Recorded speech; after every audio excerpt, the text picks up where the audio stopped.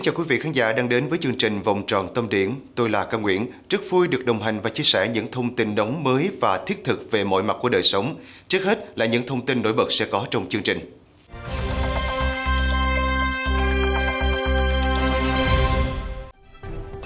Quảng Nam trắng đêm tìm kiếm người dân mất tích sau sạt lở. Lâm Đồng dùng đèn led nuôi cần sa trong nhà. Chương một cận cảnh tâm điểm, kiên quyết loại bỏ các dự án thủy điện nuốt trừng gây lục lội.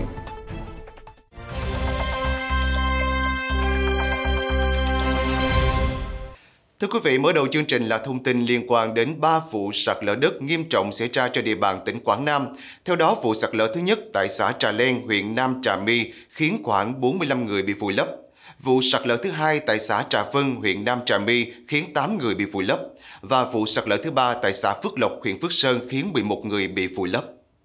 Thưa quý vị, tính đến chiều hôm qua 29 tháng 10, phép màu đã xảy ra khi các lực lượng chức năng cứu sống được 33 người dân trong vụ sạt lở tại thôn 1 xã Trà Len, 6 người chết và còn 13 nạn nhân mất tích. Riêng vụ sạt lở ở huyện Phước Sơn vùi lấp 13 người thì đến nay chỉ mới tìm được 5 thi thể.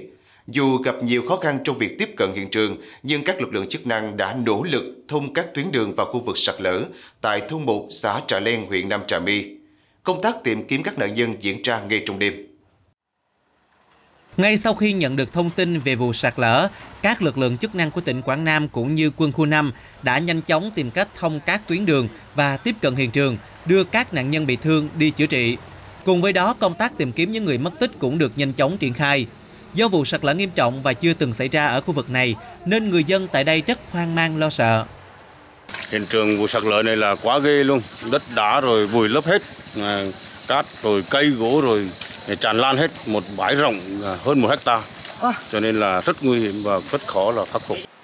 Do tuyến đường vào vị trí thôn 1 có nhiều đoạn bị sạt lở nặng nên các lực lượng chức năng chỉ có thể tiếp cận bằng đường bộ và sử dụng sức người để tìm kiếm ban đầu. Các phương tiện cơ giới cũng đã được điều động và sẵn sàng hỗ trợ công tác tìm kiếm ngay khi giao thông thuận lợi. Trong quá trình tìm kiếm rất là khó khăn bởi vì địa hình miền núi rất là hiểm trở do đó với sự ờ, nỗ lực của các cán bộ chiến sĩ ờ, toàn quân cũng như là ở địa phương cũng như lãnh đạo của sở ban ngành cũng như uh, ban uh, ban phòng chống thiên tai tìm kiếm cứu nạn của tỉnh của huyện đã tiếp tiếp cận hiện trường một cách nhanh nhất để có thể là cứu kịp thời cho người dân. Thưa quý vị, chiều qua 29 tháng 10, Bệnh viện Lê Lợi, thành phố Vũng Tàu, tỉnh Bà Rịa Vũng Tàu vừa cho biết đang tiếp nhận điều trị nhiều bệnh nhân nghi bị ngộ độc thực phẩm sau khi dùng cơm trưa tại một khách sạn trên đường Trần Phú, thành phố Vũng Tàu. Một du khách trong đoàn cho biết đoàn gồm các cán bộ hưu trí, công nhân viên ở thành phố Hồ Chí Minh lưu trú tại khách sạn KH từ trưa ngày 28 tháng 10 và chỉ ăn uống trong khách sạn này. Trưa ngày 29 tháng 10, đoàn ăn trưa gồm nhiều món, trong đó có tôm, cá, kim chi. Sau khi ăn xong, nhiều người có cùng biểu hiện đau bụng, nôn ói, mệt mỏi, nghi ngộ độc thực phẩm nên được đưa đi cấp cứu tại bệnh viện Lê Lợi. Một số khách có dấu hiệu nhẹ nên tự theo dõi tại khách sạn.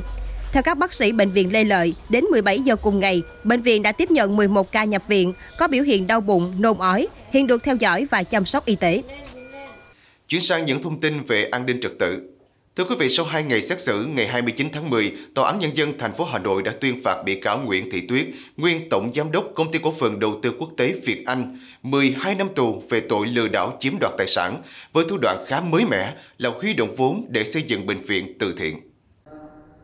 Theo cáo trạng, lợi dụng việc Ủy ban Nhân dân tỉnh Thái Bình có chủ trương cho phép Hợp tác xã Thương binh và Người Tàn tật huyện Kiến Sương, tỉnh Thái Bình kêu gọi vốn từ các cá nhân tổ chức để xây dựng Bệnh viện Đa khoa Từ thiện Thái Bình. Bị cáo Nguyễn Thị Tuyết đã dùng thủ đoạn gian dối để ông Vũ Đức Miên, chủ nhiệm hợp tác xã, tin tưởng ký hợp đồng hợp tác xây dựng Bệnh viện Đa khoa Từ thiện Thái Bình. Sau đó, bị cáo yêu cầu ông Vũ Đức Miên ứng trước một khoản tiền để lo chi phí giải ngân nguồn vốn của đối tác nước ngoài. Bằng thủ đoạn này, bị cáo đã lừa đảo chiếm đoạt tổng số tiền là 618 triệu đồng. Thưa quý vị, cỏ, pin cần là tên những dân chơi thường gọi khi nhắc đến cần sa. Cách đây vài năm, cần sa được bộ phận giới trẻ các thành phố lớn khá chuộng bởi cách sử dụng đơn giản, giá thành trẻ. Nhưng sau nhiều đợt truy quét của cơ quan chức năng, các loại cây chứa chất ma túy dần dần khan hiếm trên thị trường.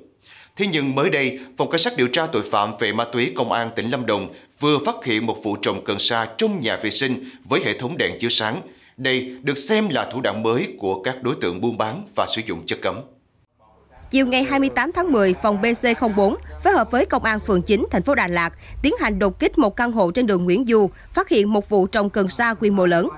Trong nhà vệ sinh của căn hộ này, lực lượng chức năng kiểm đếm có 12 chậu được dùng để trồng cần sa, trong đó 8 chậu có cây cần sa lớn, cao từ 50 đến 150 cm và 4 chậu cây cần sa còn nhỏ. Làm việc với cơ quan điều tra, Huỳnh Thanh Tiến, 27 tuổi, trú phường An Lạc, Bình Tân, thành phố Hồ Chí Minh, khai nhận đã mua 12 hạt cần sa ở thành phố Hồ Chí Minh về trồng hơn 2 tháng này. Tiến cho biết, hệ thống đèn chiếu sáng trong nhà vệ sinh có công dụng giúp cây cần sa phát triển nhanh. Trong phòng ngủ của Tiến và Trần Nhật Vi, 22 tuổi, trú tại thị trấn Châu Ổ, Bình Sơn, Quảng Ngãi, công an còn phát hiện 123 chiếc hộp trống. Bên ngoài có dán hình vẽ hoa cây cần sa, hai cân tiểu ly và hàng trăm dụng cụ để sử dụng ma túy. Vi khai đã mua mặt hàng này về bán lại để kiếm lời. Qua kiểm tra nhanh, Tiến và Vi đều dương tính với ma túy. Chuyển sang thông tin khá thú vị. Thưa quý vị khán giả, xu thế làm vườn đa canh nghĩa là kết hợp nhiều mô hình trên cùng một diện tích đất đang được nhiều nhà vườn ở nước ta áp dụng. Tuy nhiên, để chọn loại cây trồng hoặc vật nuôi thích hợp giúp mô hình phát triển hiệu quả thì không phải ai cũng làm được. Cũng đi theo mô hình đa canh, nhưng cách làm của một lão nông tại tỉnh Tiền Giang rất thông minh khi kết hợp nhiều đối tượng canh tác trên diện tích đất, tận dụng phụ phẩm chăn nuôi thành phân bón cho cây trồng. Với cách làm sáng tạo này đã giúp ông thu về lợi nhuận cả tỷ đồng mỗi năm. Đây là vườn dừa Mã Lai trồng sen cây gất rộng 2 hecta của ông Phạm Hồng Đức, ngụ xã Hòa Tịnh, huyện Chợ Gạo, tỉnh Tiền Giang. Ông Đức cho biết, sau nhiều năm trồng nhãn thanh long không hiệu quả, đến năm 2013, ông quyết định phá bỏ chuyển sang thử nghiệm trồng gất, đồng thời trồng sen dừa giống Mã Lai lấy ngắn nuôi dài. Thấy mô hình này có hiệu quả, ông mở rộng dần ra toàn bộ diện tích. Với 1,2 hecta đất trồng gất, trung bình mỗi ngày ông cắt khoảng 200 kg với giá bán từ 20.000 đồng một ký. Thấy cái mô hình trồng cắt thấy nó rất là khỏe mà nó vừa lợi nhuận nhiều. Rồi sau đó chú mới xen dừa Mã Lai vô. Xen dừa Mã Lai vô thì khi mà dừa lên nó phát triển lên rồi thì nó che gất, gất trái không nhiều chú phá gất. Thì mỗi tháng là chú thu hoạch vậy là được là 14 15 thiên. Mỗi một thiên vậy là 1.200 trái. Dừa Mã Lai được ông Đức trồng sen thêm lá lốt. Ông cho biết việc trồng sen vừa tận dụng diện tích lại hạn chế cỏ dại mọc.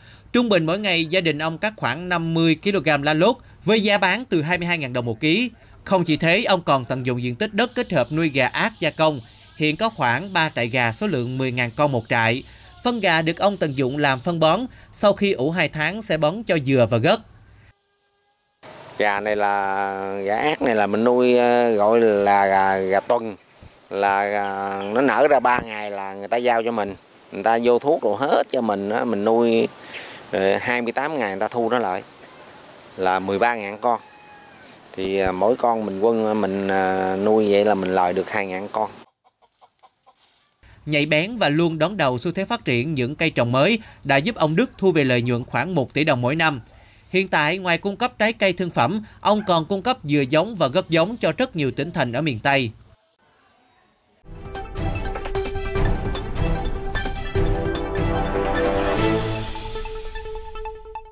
Thưa quý vị và các bạn, không phủ nhận những đóng góp của thủy điện vừa và nhỏ đối với sự phát triển kinh tế, năng lượng. Tuy nhiên, cũng không ít những dự án gây ảnh hưởng lớn đến môi trường. Vừa qua mưa lớn kéo dài cộng với nhiều hồ thủy lợi, thủy điện xả tràn làm nhiều khu dân cư ở miền Trung thêm ngập lụt chia cắt. Đặc biệt là sau sự cố sạt lở nghiêm trọng tại thủy điện Trào Trăng Ba làm 17 người chết và mất tích, dư luận đặt câu hỏi liệu đây có phải là hệ lụy của việc quy hoạch ồ ạt các thủy điện nhỏ làm ảnh hưởng lớn đến vấn đề môi trường, vấn đề an toàn dân sinh vùng hạ du? Thủy điện Rào Trăng Ba được Ủy ban Nhân dân tỉnh Thừa Thiên Huế cấp phép đầu tư tháng 11 năm 2008. Đây là nhà máy thủy điện thứ 13 tại Thừa Thiên Huế. Dự án được xây dựng trên sông Trào Trăng do công ty trách nhiệm hữu hạn tư vấn xây dựng Trường Sơn làm chủ đầu tư, có công suất lắp máy 11 MW, tổng nguồn vốn đầu tư 290 tỷ đồng. Diện tích đất dự kiến sử dụng là 11,1 hecta, trong đó diện tích khu vực lòng hồ là 8,8 hecta. Đến năm 2016, Bộ Công Thương đã điều chỉnh quy hoạch, nâng công suất nhà máy lên 13 MW. Theo các nhà khoa học, khu vực này đã được cảnh báo là có nguy cơ sạt lở rất cao. Tôi thì tôi nghĩ rằng là đặt câu hỏi đầu tiên có nên làm thủy điện ở đây không? Là vì công sức thì không cao, giá thành không bao nhiêu, phá hoại môi trường và nguy hiểm. Do đó câu hỏi đầu tiên mình có cần làm thủy điện ở đây không? Sông Rào Trăng có chiều dài khoảng 26 km, có 4 dự án thủy điện được quy hoạch thành thủy điện bậc thang với 4 bậc. Tổng công suất lắp máy là 89 MW, đang xây dựng, sắp hoàn thành và đã đi vào hoạt động, gồm thủy điện A Linh B1 42 MW, A Linh B2 20 MW, Rào Trăng 3 13 MW và Rào Trăng 4 14 MW. Như vậy, trung bình cứ 6,5 km sông Rào Trăng lại bị chia cắt bởi một công trình thủy điện. Việc nghiên cứu lập quy hoạch thủy điện trên các lưu vực sông nhánh thuộc thẩm quyền của Ủy ban Nhân dân các tỉnh. Đây là một điều bất cập trong quy hoạch thủy điện nhỏ. Nhưng trong quy hoạch của chúng ta chưa bao giờ tính theo cái con tính chi phí lợi ích. Tức là lợi ích đạt được bao nhiêu và chi phí phải chi bao nhiêu. Thế thì ở đây chắc chắn là tôi khẳng định là chi phí quá lớn so với lợi ích đạt được một vài megawatt. Bất cập là cái thứ nhất là Trung ương không có hướng dẫn cụ thể cho tỉnh. Điều thứ hai nữa là cái kiểm tra, thanh tra của cơ quan cấp trên so với các tỉnh. Kiểm tra thấy rằng không đạt, thì lúc đó mình phải yêu cầu là phải làm lại, bỏ nó đi. Rõ ràng, Ủy ban Nhân dân các tỉnh nghiên cứu quy hoạch nhưng Bộ Công Thương có vai trò tổ chức thẩm định, kiểm tra, giám sát vận hành. Vậy việc thẩm định được lấy ý kiến của các cơ quan liên quan cần thiết như Bộ Nông nghiệp và Phát triển Nông thôn, Bộ Tài nguyên và Môi trường, Bộ Giao thông Vận tải, Bộ Xây dựng, làm cơ sở chỉ đạo các cơ quan chuyên môn có liên quan hoàn chỉnh quy hoạch để xem xét phê duyệt quy hoạch đã được thực hiện nghiêm túc hay chưa. Là từ năm 2016 đến nay, tất cả những dự án thủy điện nhỏ mà liên quan đến rừng tự nhiên thì không có một dự án nào được bổ sung trong quy hoạch và tất cả các dự án được bổ sung quy hoạch thì chúng tôi đều kiểm soát rất chặt chẽ và rất kỹ các vấn đề liên quan đến rừng, liên quan đến đất. Từ năm 2017 đến nay, Bộ Công Thương cũng chỉ đạo các địa phương không cấp phép đưa vào quy hoạch những dự án dưới 3 MW. Về những cảnh báo ảnh hưởng của các thủy điện nhỏ từ phía Bộ Tài nguyên và Môi trường từ năm 2011, Bộ Tài nguyên và Môi trường đã có cảnh báo về tác động bồi lắng, ảnh hưởng rừng tự nhiên, dòng chảy và Bộ Công Thương đã có lưu ý khi xem xét quy hoạch. Năm 2019, Bộ Công Thương cũng đã loại bỏ khoảng 400 dự án thủy điện vừa và nhỏ. Vấn đề hiện nay, Bộ Công Thương cần quản lý giám sát kiểm tra các thủy điện vừa và nhỏ đã xây dựng từ trước để đảm bảo an toàn so với quy định. Thưa quý vị, mặc dù Bộ Công Thương đã loại bỏ khoảng 400 dự án và hơn một năm nay không bổ sung dự án mới vào quy hoạch, nhưng một số địa phương vẫn đang đua nhau điều chỉnh, bổ sung, cấp phép cho thủy điện nhỏ. Các thống kê cho thấy cứ 1 MW thủy điện là mất từ 10 đến 14,5 hecta rừng. Trung bình mỗi dự án thủy điện nhỏ hình thành sẽ có 125 hecta rừng bị xóa sổ. Như thế, với hơn 500 dự án thủy điện nhỏ đã được phê duyệt như hiện nay, chúng ta đã phải đánh đổi 57.000 hecta rừng. Có lẽ để kiểm soát được tình trạng ồ ạt cấp phép, đầu tư xây dựng thủy điện ở các địa phương cần phải có một nhạc trưởng để chỉ huy xử lý sai phạm. Việc này Quốc hội cần phải vào cuộc để đưa ra nghị quyết về mục tiêu, giải pháp, nhất là thời hạn để kiên quyết dừng, loại bỏ các dự án, công trình không hiệu quả, không đảm bảo an toàn, ảnh hưởng xấu tới chế độ dòng chảy, môi trường và đời sống người dân. Đồng thời nên quy định rõ những dự án liên quan đến rừng, dù lớn hay nhỏ đều phải báo cáo chính phủ, không nên giao lãnh đạo địa phương được quyền cấp phép bổ sung các dự án thủy điện dưới 30 MW vào quy hoạch. Nếu địa phương nào có nhiều thủy điện nuốt rừng thì lãnh đạo địa phương phải chịu trách nhiệm trước chính phủ và quốc hội. Đến đây thời lượng của chương trình Vòng tròn tâm điểm cũng sẽ được khép lại. Cảm ơn quý khán giả đã quan tâm theo dõi. Hãy nhớ đón xem chương trình vào lúc 12 giờ 30 hàng ngày trên kênh BTV1 của Đài Phát thanh và Truyền hình Bình Dương. Còn bây giờ, xin chào và hẹn gặp lại.